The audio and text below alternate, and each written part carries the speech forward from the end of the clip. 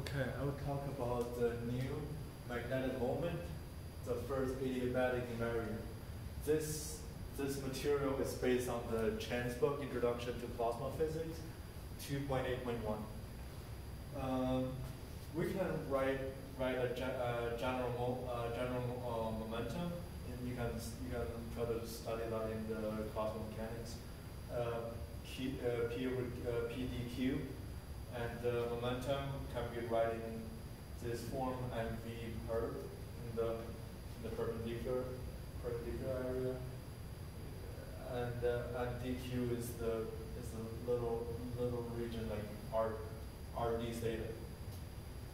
I'm gonna do the integral because it will, it will be like a two pi. Since we're doing adiabatic, adiabatic we consider the of variation of the magnetic field is small and the oscillation of magnetic field is, is slow compared to compared to cyclotron frequency, and this is uh, compared to the length scale of uh, Larmor radius. Uh, to do this and uh, try to convert it to another way based on the omega c equals to qb over m. And we get this expression, I'm plugging the nu equals to m mv per square over 2b wind up having this, t, uh, 4 pi m over q nu. So due to the conservation of momentum, since it's adiabatic, that means in terms of time and space, that the magnetic field change slowly. So the conservation of momentum works in this scenario. So what we'll end up having having conservation of momentum, which is this is constant, and then that means this is constant. So that means as long as Q over M is constant, then, then the then the nu then the nu is constant. Then, hence this is adiabatic. Uh, this is an adiabatic in, invariant. So so M over Q, which is mass charge ratio. So keep that in mind, then we will we will have a application that I will talk in a different video, magnetic mirror we can trap using this using this principle. We can trap uh, particles in uh, using magne using magnetic field. Let's talk about the violation of the